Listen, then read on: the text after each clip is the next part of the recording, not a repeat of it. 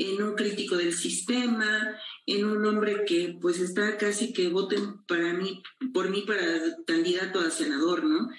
Y la madre se convierte en una comparsa, ¿no? Es una mujer que no da una muestra genuina de dolor. Que me apoyen en esta situación de que este pues sea con mano dura de que, de que corran al fiscal o que lo remuevan de acuerdo a todos los códigos penales por todas las omisiones y por todo lo que ha hecho su gente de este filtrar información cuando está en cadena de custodia que eso de acuerdo al código penal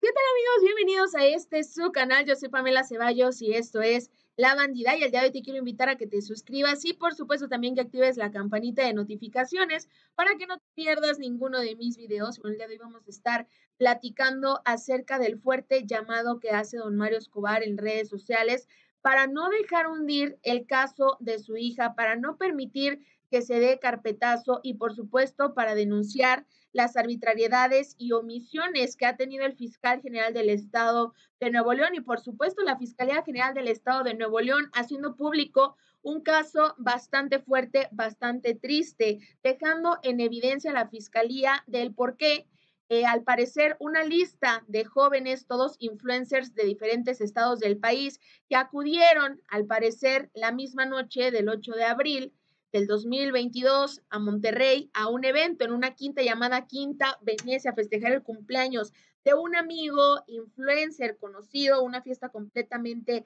privada, pues eh, tras la fiscalía enterarse que esa fiesta fue una de las, de las varias paradas de la joven. Antes de llegar a la quinta El Diamante, solicitó esta lista, empezó a llamar a cada uno de estos invitados de manera extraoficial solicitándoles que eliminaran de sus teléfonos celulares videos, fotografías y cualquier tipo de evidencia de esa fiesta y no solamente eso, sino que de manera misteriosa.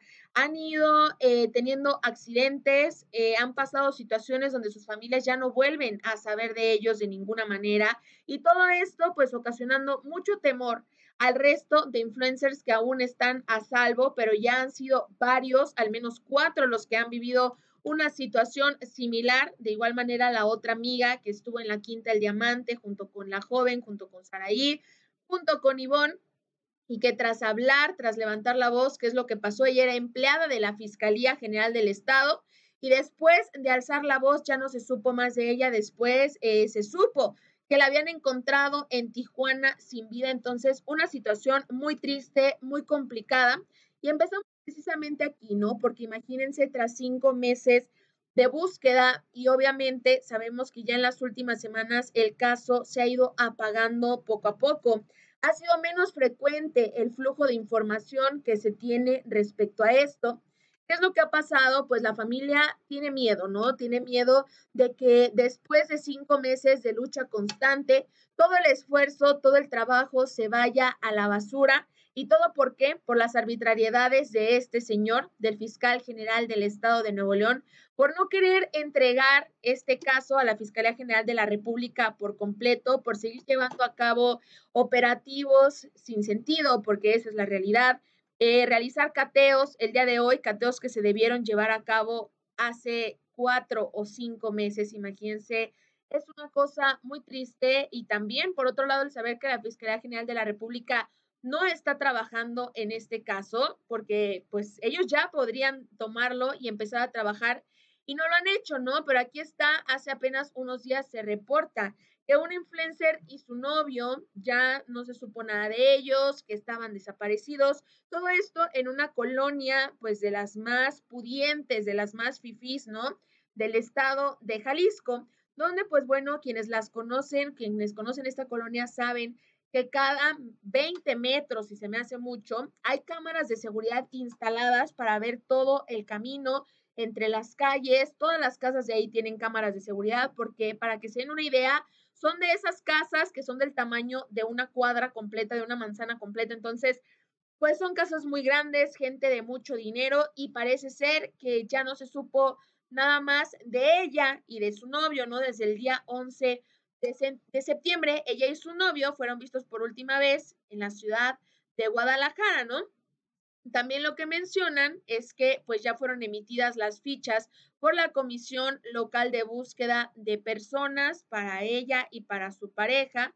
Aquí está que ella tiene 30 años, es entrenadora deportiva y tiene más de 25 mil seguidores en su cuenta de Instagram. Ella se vino, se mudó hace poco tiempo a vivir a Guadalajara con su novio de 27 años, aunque no especificaron hace cuánto tiempo que estaban en la ciudad. La última vez que se les vio iban en una camioneta Jeep Cherokee blanca con estas placas, la cual aún no ha sido localizada. También mencionan aquí algunas señas particulares como tatuajes y demás, eh, la ropa que ella llevaba puesta, pantalón color negro, eh, una chamarra de mezclilla.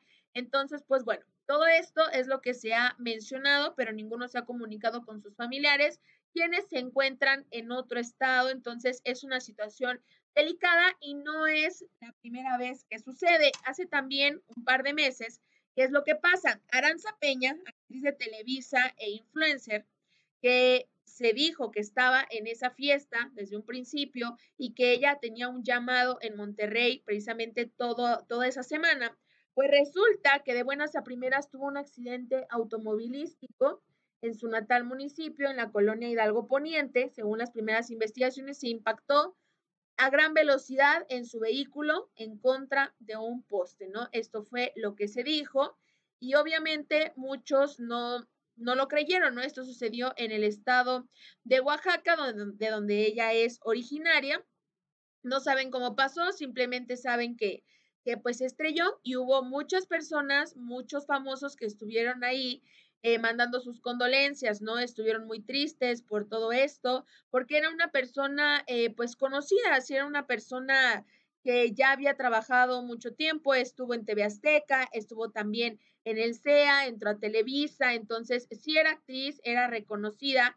Y aquí está, la joven se perfilaba para alcanzar el éxito dentro de la televisora de San Ángel, pues una vez que egresó del CEA, comenzó a trabajar en proyectos importantes de Televisa, en proyectos como La Rosa de Guadalupe, como dice el dicho, La Hora Nacional, o Esta historia me suena a la par de su carrera como actriz. En redes sociales, el nombre de Aranza Peña comenzaba a figurar como una de las influencias más reconocidas del país. En su cuenta de Instagram, la joven ya acumulaba casi 100 mil seguidores. Entonces, aquí está en su perfil. Eh, la joven de 25 solía compartir sus gustos por los viajes, destacando eh, los viajes y también el último viaje que realizó, que fue en Europa, ¿no? Por países como España, Francia, Italia y Holanda. También destacó el contenido que se subía cerca de su lugar de origen en Salina Cruz, en Oaxaca. Entonces, ella pues ya era también como una influencer del estado, ¿no? Fue considerada como promotora de las tradiciones de su estado. Y obviamente esto creó mucho más conflicto porque de buenas a primeras sucede eso. Se estuvo hablando en su momento de una fiesta que se llevó a cabo en esta quinta, la Quinta Venecia, donde ellos niegan que justamente ese día, el 8 de abril, ellos no abrieron, que lo tuvieron cerrado, pero se tuvo la información de una lista de casi 60 personas que acudieron a este evento y que todos, bueno, en su mayoría eran influencers, se llegaron a colar algunas personas, pero no se quedaron toda la noche. A ellos, eh, los que estaban en la lista, los empezaron a llamar a la fiscalía y mencionan que algunos hasta les retiraron sus equipos de teléfono celular. Entonces fue algo muy extraño, se mencionó en su momento que se puede hablar de un influencer pues ya no, no muy chavito como de 20 años, ¿no? Sino ya más grande, pero sí cercano tanto al gobernador como a su esposa, ¿no? Incluso se llegó a mencionar el nombre de Poncho de Nigris, aunque no se supo, nunca, nunca se confirmó si fue o no fue, yo creo que jamás se va a saber eso. Pero pues bueno, este lugar, la Quinta Venecia, dice, se negaron y dijeron que ahí nunca hubo una fiesta, que nunca nada en cuanto a entrevistas. También la Quinta El Diamante, pues ya parece que opera con total normalidad a pesar de toda la situación. ¿Y qué es lo que pasa, no? Ahorita ya están sucediendo muchas polémicas en las redes sociales, empezando por este tema donde se le da voz a personas que mencionan que incluso Mario Escobar ahora quiere ser candidato, imagínense nada más. Después de, la desaparición de esta niña, el padre se convierte como en un ideólogo, en un político, en un crítico del sistema, en un hombre que pues está casi que voten para mí, por mí para candidato a senador, ¿no?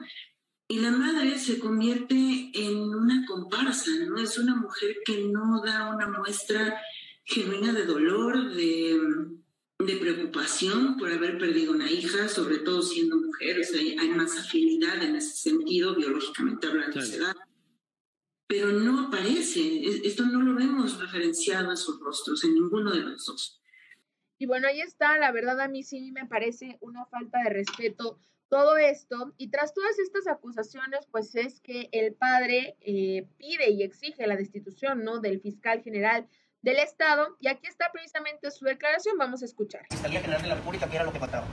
En la, en la situación que comentas, no sé, desconozco yo, pero este, el paso que nos dijeron la FGR fue este, la firma y la premia de nosotros para poder hacer, la atracción. ¿Por eso no se había eh, atraído el caso por parte de la autoridad? Entre otras cosas, sí, entre los protocolos que ellos marcan, este, bueno, sí, de alguna manera este, pudiera ser algo, algo de eso. Sí ha estado muy, muy manipulado el caso. han existido muchas omisiones, como todos lo sabemos. Desde un principio, desde el 21 de abril, yo dije que no fue un, este, un accidente. Lo comprobamos con documentos. Se los mostramos a la fiscalía, se los mostramos al mundo. Y la misma este, fiscalía reconoció que esto no fue un accidente todo lo que se tiene que tratar en el caso de Devan se tiene que tratar con perspectiva de género y de un feminicidio y que ellos los estaban tratando de diferente manera. Cuando nosotros solicitamos la atracción el mes pasado, empezaron a hacer lo que debieron de haber hecho hace cuatro meses a tratar a la gente como este, presunta imputada para este, la situación de ver como un feminicidio. ¿Sabes si eh, los videos o las, las, pruebas, los celulares que encontraron tanto en la casa de la recamarera como la gerente, eh, aporta algo a la investigación? ¿Si pertenecía o hay algún indicio que diga eh, la manera en que mataron a Devani? El día de hoy acudiré con el, fiscal, con el vicefiscal Luis Orozco. Tengo una este, junta con el vicefiscal. Me atenderá a las 12, 12 y media. En un ratito voy para allá para ver lo de la carpeta, porque sí se les solicitó también de manera documental, este, de manera de palabra también pero bueno, no, no se había hecho y, este, voy a ver lo que, lo que hay en, esa carpeta que no he tenido acceso. Ahora que el gobernador renuncia fiscal y no ha pasado nada. No ha pasado nada, pero bueno, esperemos que en estos próximos días este, ya pase. Eh, le, exijo también al gobernador que me apoye en esta situación de que este, pues sea con mano dura de que, de que corran al fiscal o que lo remuevan de acuerdo a todos los códigos penales por todas las omisiones y por todo lo que ha hecho su gente de este, filtrar información cuando está en cadena de custodia, que eso, de acuerdo al código penal, amerita que le abran una carpeta a todas las personas implicadas dentro de este proceso. ¿Esto fue por la filtración? En la Fiscalía de Nuevo León, sí.